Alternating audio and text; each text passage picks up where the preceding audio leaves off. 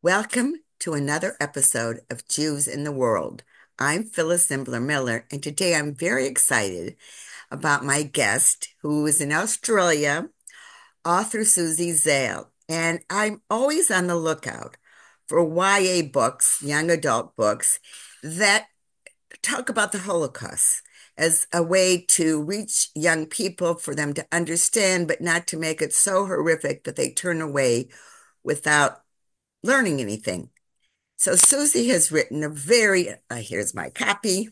Oops, can't really see it with the background. It's called Inkflower.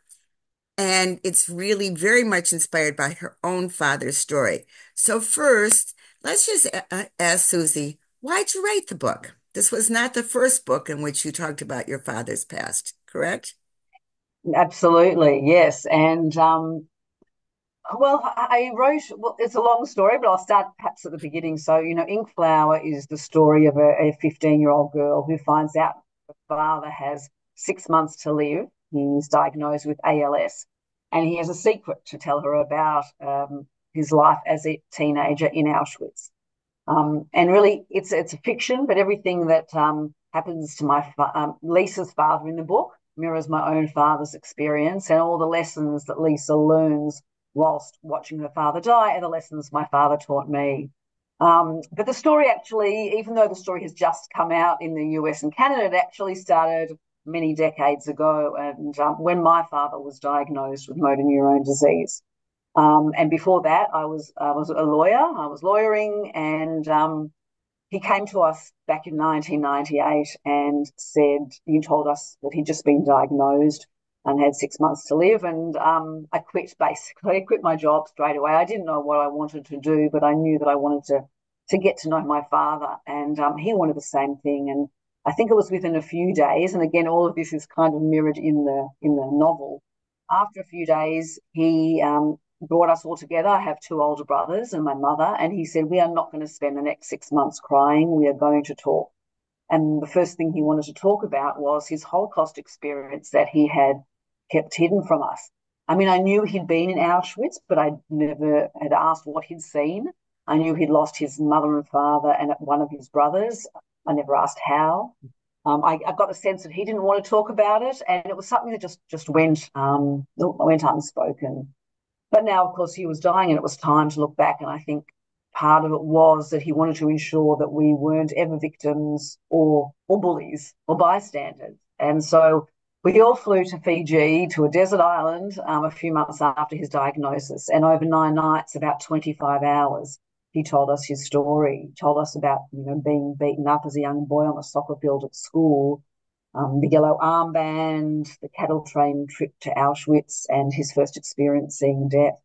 And I think part of the reason he hadn't wanted to talk about it was because he didn't want that trauma to be our personal inheritance. I think he wanted joy and compassion and, you know, faith and love to be what he'd passed on. He didn't want any part of that to taint our lives. And when he came to Australia, he actually, sorry, you wanted to ask no, yeah, what I wanted to ask what Maria going to say. It. So, um, men, I, I know many survivors didn't talk, but many survivors uh, grew had their children grow up in a Holocaust survivor community, so that there was talk.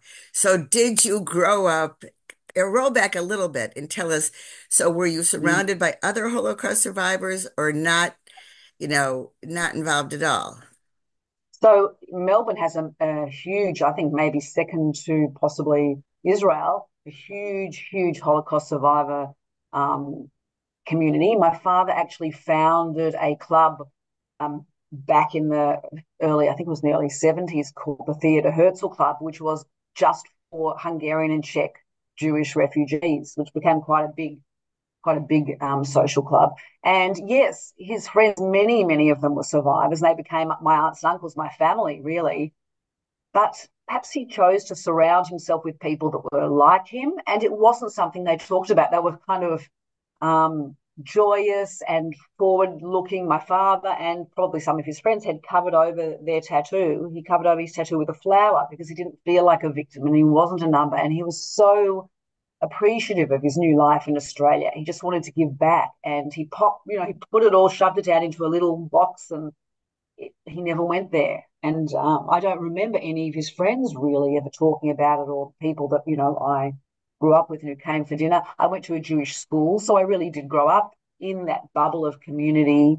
And um, and so I learned about the Holocaust as a subject of school, but it wasn't as um, you know in a per, very personal um, experience.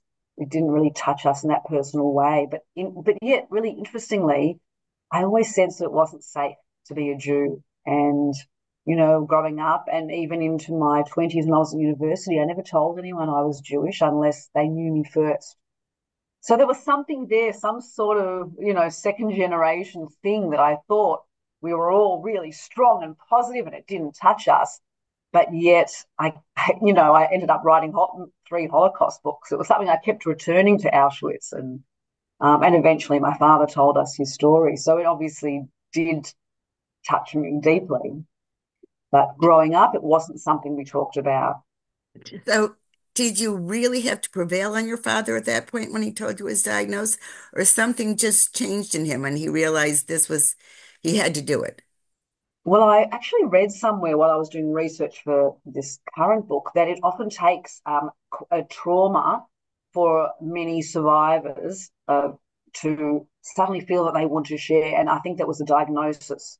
My father knew he didn't have long, and I think he finally felt a responsibility to tell us what happened so that we would pass on that story. Because, you know, we very quickly decided that um, we were, I was going to write down everything he told us. And, and in that small time in Fiji, we had, you know, we had the old clunky, was back in the 80s, video recorders. We had a dictaphone. I was scribbling notes. At that time, I came home and I had them all transcribed and kind of edited them up just as a version for the family, really, initially. Um, my father printed copies, gave them to all his friends. We had a beautiful um, launch just for all his friends before he passed. Um, but it was the night before he died, and we were all, he was still at home. Mum was caring for him. And I remember we all had time alone with him to say goodbye. We knew we'd be losing him in a matter of hours. And he, he could not, he had a tracheostomy. He could no longer talk. And he, but, you know, he could, he was, his intellect was fully there and he could communicate with his eyes. And I remember being next to him, and I, I guess I just wanted him to leave with a smile on his face. And I said in in those last hours, Dad, I promise you, your book will be on bookshelves in bookstores, and people will learn about the Holocaust, and they will learn that those last years um, don't have to be frightening, and they can be time of of great growth. And because my father, he just he lived that time so bravely and graciously, and deepened his relationships, and it was just an incredible time. So I knew I had two stories to tell. One was my father's Holocaust experience, which was, you know, as they all are, so many lessons in that story. But then also, I wanted to tell the story of how his dying changed our relationship and how much, you know, how I learned so much from him in those last years. And so, um, I, I had made Dan my promise that the book would be on bookshelves. So after he passed, I actually wrote an adult memoir called The Tattooed Flower which was these alternating stories of the, my father telling his story and then living with him through the five years he, he eventually lived with the disease. Um, but then fast forward 20 years later, and I'd, I'd written 12 books, but I kept feeling drawn back to that story. And I think it was that fear that I talked about and that sense it wasn't safe to be a Jew. And I felt like you know, I, I, was angry about what had happened to my father as a child and I was scared. And what do you do with all that fear and anger? I think, you know, revenge is nice, but change is better. And I suddenly felt like, well, who better to write for than teenagers, you know, who are still trying to work out what sort of world they want to live in and what sort of people they want to be. And so I started um, adapting the true story um, for a teen and young adult readership. The one thing that surprised me in this story was that she didn't tell her friends that it was Jewish. And I'll tell you why it surprised me. Because I grew up in Elgin, Illinois. It's a town northwest of Chicago, in which frequently I was the only Jewish kid in my classes. And I, and my closest friends knew I was Jewish. I didn't like go around and But that fear of, of anyone knowing, I must tell you, I had a hard time relating to it because I It's so couldn't understand desperately not wanting anyone to know I was Jewish. it's so interesting because I went to a Jewish school, but whenever I was out of that situation, whether it was tennis lessons or any extracurricular activities, I didn't, I actually didn't tell anyone I was Jewish. There was this kind of deep seated fear. And I thought, well, maybe that was just me. And so I actually interviewed a lot of um, people that had gone to public schools, non Jewish schools. And many of them told me the experience that it just wasn't something they brought up, they didn't talk about. And, um, you know, eventually, obviously, when they grew up and they got older, they did, or perhaps they felt they were, um, you know, met a few other Jewish people in that same environment and, and confided in them. But a lot of them said the same experience, which is very interesting. I mean, this is back, you know, in the in the 80s. And I don't know, we just didn't own who we were. We were we I was very Jewish in terms of we went to, you know, synagogue for all the high holidays. We celebrated all the, you know, Passover and all the events, big family meals. Every Friday night we had Shabbat. But out in the world where I wasn't safe in my own little environment, I, I kept it to myself. And yeah, a lot of the people I spoke to related to that. And I guess it's also a larger narrative about, you know, teenagers just wanting to fit in. And that is whether in any way that they might be different. I think that's something that a lot of kids relate to, that they don't want to be under the spotlight. It's just something and this character Lisa, not only does she really want to, because she's not religious and she they don't live um, at all a traditional life, but you know she also keeps the secret that her father has died because she do, doesn't want to be the kid in the corridors who they're pointing and whispering to. Poor thing, you know, her father's dying and he went, you know, he was a camp survivor. And you know, I was 32 at the time when my father was diagnosed, and it took me three weeks to tell my best friend.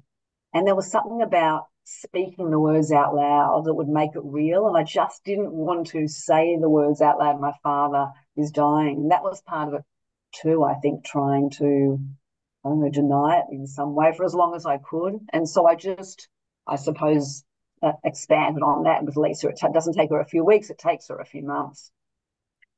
What's been the reaction of young people, people in your target market, uh, in age wise, because lots of It's, adults also read YA. But young people, what have the reaction been when you've spoken? I know you've toured with this book, correct? So what's yeah, been the well, I speak, reaction? I speak at a lot of schools as well, and it's been just, especially during this difficult time after October 7, it's actually been so heartwarming to see so many students, and not just Jewish students, but just across Australia, really take to the story and messages of like, you know, just feeling for this character and understanding how she feels and learning about this whole, you know, this a religion they might not have known a lot about, but also the there was a Children's Book Council of Australia Awards recently, and the book was chosen as the winner by students, not by the judges. It was shortlisted by the judges, but students across Australia. And remember, the Jewish community is very small in Australia, so this is you know just a broad swathe of students who voted as their favourite book, and I just feel like if you can reach people and they you give them one character to care about, pretty soon they are next to that character. And it doesn't matter if the character is Jewish or not Jewish or black or white, or they understand that our differences, you know, are no more we sort of bound more by our similarities than our differences, I guess what I'm trying to say. And if we can get children to understand that, I think it's just so valuable in how they will act in a schoolyard, you know, will, will they stand up for bullies? They read these stories, and I hope it has some impact. Is Holocaust education currently mandated in Australia? It is in many states, which is just fantastic. Um, I don't think it's down to the detail of how many lessons you have to give. And I think some schools will only be, you know, they're only allotting three, maybe three lessons to the Holocaust, which really doesn't touch sides. But, you know, it is mandated. We have an amazing Holocaust museum in Melbourne, another one in Sydney. Every state um, has one in Australia, and they do a lot of education. A lot of school groups go through the Holocaust Museum and have a you know really deep dive um, and hear from survivors. We still have a number of survivors here guiding.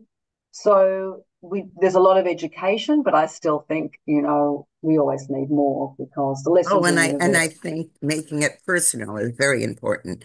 So I think so. I, I think sometimes you know history books can be a bit numbing for teenagers, and the number six million a bit overwhelming. But if you yes. give them, you know, one character, it can it can really touch them. Yeah, and my thing, I'm not down. I'm not being negative about Anne Frank, but the problem with Anne Frank is that, uh, you know, the diary doesn't go to the camps, so that it's a more rosy picture of being in hiding. And so yeah. in Inkflower, you you kind of lay it out pretty well. I mean, start just, you know, briefly. Your father grew up in a small town in, I call it Czechia now, the Czech lands near Prague, not near Prague. Just tell us a little bit. Well, he lived in a small village called Porubka, and there were maybe three or four families that were Jewish in that community. And um, he, so just very few Jews, and all of them, they were going through a hard time already when he was a very young boy, and they would just hide in the classroom. But he was insistent. He wanted to play soccer, and he went out every day and got beaten up every day um, he was quite a, a, tough little guy, but you know, it, it, hurt him deeply. He had no friends. The Jews thought he was dangerous because he insisted on going out there, and the non-Jews wouldn't um, would either not talk to him, ignore him, or, or beat him up. And then, of course, you know, his family are rounded up, and he goes to Auschwitz, um, where he is, you know, just by luck, um, a fellow inmate whispered to him as he was going through the selection queue, "Stick with your father. Don't go with your with your mother and younger siblings." And he stood on his father's shoes to be a bit taller. Um, and it was when his his turn to go through, he just ran past Mengele, past all the guards with guns, and just ran and hid amongst the group of men slated for survival. Um, he, he was very small, but he managed to, uh, he was put to work in a mine collecting, you know, I think rocks out of coal um, and survived by the kindness of strangers and luck and his own grit, all of those things. Um, and then came to Australia. How did he but come to Australia? I was going to say, how did he come to Australia? I've heard stories about how uh, Jews after the Holocaust. So, how did he get to Australia? Well, I don't mean on a went- plane or boat. I mean, you know. Yeah, yeah. He was offered um, safe passage to America which was always his dream as a, as a young boy to live in New York. I think he had an aunt, but he said to himself, "I have to go back to see if my any of my family have survived. I can't, I can't do this." So he went back, um, found his way back home. Of course, another family was living in his house and told him they want, just wanted to see the back of him. No one took him in, and he said, "I'm just getting as far away as I can." Um, so on his way out, um, he actually did find a few of his siblings still alive, and for a, a short time they lived in Czechoslovakia. Um, and then communism happened, and my dad said to himself, I can't do this again. I'm not going to be told how to live, and that I can't be a Jew and, and, and practice my faith if I want to. And he escaped. Um, the usual story went through lots of DP camps and eventually um, got on a ship to Australia as I think a 19 year old orphan with not a, a penny and built you know a beautiful big life here. Did he speak English when he arrived? Did he prepare himself by learning English or did he know English? Yeah, he did. His siblings were very against him going to school, so he used to secretly study um, in his bedroom by torchlight under the blankets, um, putting through himself through um, school. This is after the war. This is after. after the war. Yeah, he put himself through school without any assistance from his siblings, in, in secret, in fact. Taught himself English. I think he, you know, by the time he went for the interviews to see where he could be placed, um, he already has like six languages under his belt. Um, you know, he was smart and he he planned it. So he had learned enough English that he ended up being a spokesman on the ship for all the refugees. And when he came into the, the camp in Australia called Bonegilla Refugee Camp, again, he was the one that always translated and um, so he did he did speak not fluently, but enough English to to get by. Your mother is uh, was born in Australia, correct? No, no, she was Hungarian. She was born in Budapest, and very lucky, lucky. You know, Budapest was left to last um, by the Nazis, and so she managed to sort of be shuttled between, you know, auntie's homes in the country and um, and managed to stay out of the camps. She ended up um, escaping communism too as a 17 year old by herself. Um, through the dead of night, escaped, made her way to the same boarding house as my father, where they fell in love. Um, so that was a very a lovely story to hear from the, my parents. But they spoke. They didn't. They didn't speak Yiddish, right? When they had they spoken. No, my father, one of his six languages was Hungarian, and he spoke to her in Hungarian. But from the first days of coming to Australia, she's you know bought a little dictionary and she walked around with this little dictionary under her arm. She was very determined as well and learned the language um, pretty quickly and got a job. And so they, when I was at home, and they both spoke English as their first language and Hungarian as their second language. My father never spoke Czech again. It was it had too many terrible memories, so he only spoke English or Hungarian. Did did you learn Hungarian? I, I, I suppose I know how to speak kitchen. They call it kitchen Hungarian, so I know you know the, the sort of language they used at home about food and, and very simple things. So I have an ear and I understand it, but I actually for some reason never wanted to speak it. And again, I don't know if that's just a young, stubborn teenager, you know, just not wanting to know a foreign language. You know, if it was nowadays, you'd be wanting to speak as many languages as possible. But back then in the 80s, I just I didn't want to. And so I understand, but I'm I'm not very adept at speaking, which is a real shame. I regret not, not, being around people who spoke other languages. You know, you, I live in Los Angeles now, and you know how many people know so many languages, and I know English. Yeah. I mean, I've tried to learn other languages. It's just not in my wheelhouse. And So, it's very hard when you're as you get older to pick up that the perfect time is when you're young. right. Well, then my grandparents all came from Russia and Latvia and stuff, escaping the Tsar. They were determined that their children would speak English, even though they barely mm. spoke English. And so that was a time in America when you didn't want to pass down languages to your children that were foreign languages. And interestingly, I mean, we all got Hebrew names, which we used at school, but Yes. um, my parents were European and they called, uh, you know, us Suzy, Gary, and Peter, which are such vanilla, you know, names that would obviously never be questioned. So it was, you know, that sort of a little flying under the radar, fitting in and making this new life for yourself, um, kind of free of the past. It sort of reverberated in different ways. What do your bro what did your brothers think of the book Inkflower? Yeah, look, they loved it. We we all read it. We actually went on a family bonding holiday, so sort of full circle from the time we were in Fiji hearing the story. We all went away together. Uh, I think it was to Bali, and everyone, and now there were the, obviously there were grand children and grandchildren too, and everyone was reading the book, and there were a lot of tears, a lot of smiles. I think it was, you know, any opportunity to kind of remember the people you love and talk about them is wonderful. And and it's interesting because they read it, and this was my perspective. You know, they obviously had different perspectives, but it was a kind of nice thing for the, for us to go through together and revisit it. And I asked them for lots of stories that fit into the book as well from their memories because they were older than me.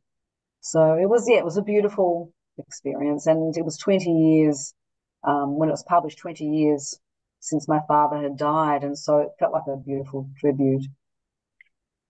Uh, so today, what would you tell young people about hiding their identity?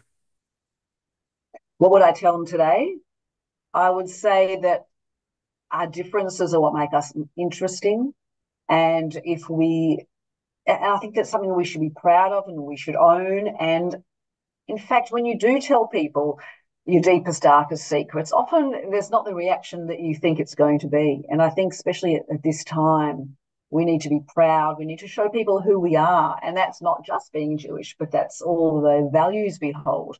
And if people, if we are more open with people, then they're going to be more understanding. I think that's, it's hard at the moment, but I think it's really important to talk about our history and our heritage, to remember it, but also um, to move forward with the sort of values our parents wanted to impart on us and all the, the things that our relatives held dear. And I think we have so many wonderful um, values and traditions that it's something that we, you know, I, I, whenever I've explained Shabbat to a non-Jewish friend, they've been completely envious. And one of my friends actually said, I'm going to start Shabbat myself. we just have such beautiful family traditions and such a closeness to our community and each other and support, especially, you know, you can witness it this time, that I think it's something to be so proud of. See, that's how that's how I think why I told people I was Jewish because so they could. I mean, most people in the United States, we talk about big United States, is have really Mm. never met, knowingly met a Jew, and I Yeah, think that it's important to say we look like you, we talk like you, and and I'll never forget. I was um, at uh, getting an MBA at Wharton of the University of Pennsylvania, and a teammate who I knew was Catholic. So I said, I'm going to not be here because it's Sukkot or some Jewish, I, I think it was Sukkot. And um, I said, We're Jewish. And she said, Oh, does your husband have those? She meant payot. And her only idea of what a Jew was was from The Chosen. So that's one of the things I think it's so important for us who didn't grow up in Jewish communities or who find ourselves not in Jewish communities to explain, no, not everyone looks like that, because otherwise, really, books can be really helpful, like Inkflower, in talking about the Holocaust. But unfortunately, really good novels. I mean, I think The Chosen is a really good novel, but it it's very one-sided about what a Jew is. yeah. And I think just like any community, we are so many things, you know, and the way we practice our faith is just mm-hmm. varies hugely. But I think it's not just to show that we are the same as you, but I think to move beyond that to say, and in the ways we are different is the beauty. And let's share each other's differences and learn about each other's differences and see the value in that difference rather than let it frighten us, you know, and try and push it away. So I think it's it's a bit of both. Yeah, I was studying for an exam at Wharton, and two of my uh, teammates in that particular project helped us put up the sukkah at the same time that we were studying. So it's really good to explain and have the opportunity absolutely. to share traditions. And I now have a very good friend, uh, I'm an online writer, who is a, a Christian, uh, you know, a, a, I would say a practicing Christian, if you know what I mean. And she wishes me uh, Shabbat Shalom by uh, email every Friday. And it gives me such joy. I can't even explain that that she's mm. cognizant and she just loves doing it. She finds little pictures to send me. And I think that sharing is really important. Yeah, I think that's the magic of books. And I think that's why it's so important, particularly for young adults, to read stories about people with wildly different lives. And actually, kids love that. They love to be dropped into an environment which is completely foreign, both physically and emotionally, you know. And we don't give teenagers enough credit. We were talking before about, you know, having material that can be quite confronting and frightening. And I think that's what kids actually look for. They don't just look for books that make them, you know, laugh. They look for books that make them cry and think and question. And there are ways of doing that. I'm like my father when he told us his story. I also, you know, sort of take great pains to protect my readers from the graphic detail. I think you can do that by kind of mining your character's internal world. So, how does my character feel about what she sees rather than having to paint a graphic image of what she sees? There are ways to protect your readers, but at the same time, trust young adults that if they're not comfortable with any of the book, they can put it down and they will stop reading, you know. But many of them actually look for books that can help them grow and learn. And, you know, I think novels are empathy machines. So it's such a great opportunity to give our teens and young adults books like this in which they can learn and understand and, you know, completely change their stance on what they thought a Jew was or really anyone that's different. So the book is available on Amazon, is that correct? And yeah, and also any it should be available in all US bookstores online from any site and as an ebook as well. So it, shouldn't be too hard to find online or in store. Okay. And in closing, is there anything that you think we haven't discussed that you'd really like to say to the listeners? I think or another big lesson of the book, because my father had ALS, and that's also quite a big theme in the book, is um, is about those those last years and what it's like also caring for a parent or a family member who's unwell, and that there's behind every disease is a person, and behind every person is a story, and so you know, it's never too late to ask questions, you know, of our parents, of our grandparents, because they really have um, incredible stories to tell. And one day they won't be there. So that's one thing I hope people take away. And the other main one is really celebrate today. You know, my father had a beautiful way of doing that. Every time he lost some functioning, you know, when he could no longer swallow his food, he said, you know, I can still, I can still smell it. Or when he could no longer walk, he would say, I can still sit in my wheelchair at the top of the stairs and watch the grandchildren run up after, you know, after kindergarten. They can throw their arms around me. So I think, you know, there's there are a lot of lessons, really positive and hopeful lessons like that. I think that's the other thing about young adult writing. It can't be a dark and unrelentingly sad story. You need to have moments of light and joy and hope. And I'm always very careful to thread that, you know, through my books. And so just the way my father lived his life, um, and even those last years, so full of love and curiosity and joy. So that's that's kind of an important lesson to me too, as a flip side to the Holocaust chapters. Yes, so for uh, readers, the book goes back and forth. So her format is you're right there when it's hap- what's happening to her father, and then you're in the current story of the teenager who's learning about her father. And I would highly recommend this book for uh, book clubs, bo- adult book clubs too.